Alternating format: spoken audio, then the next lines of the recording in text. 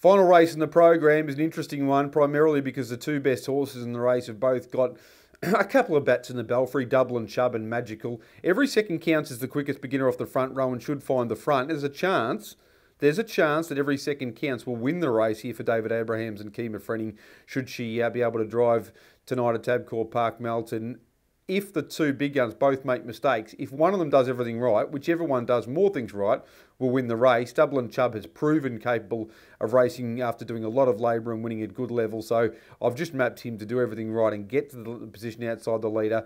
And Magical, who will definitely do a couple of things wrong early or not score up quite as well as it should, will have to come with a three wide run late, but he's good enough to win under those circumstances.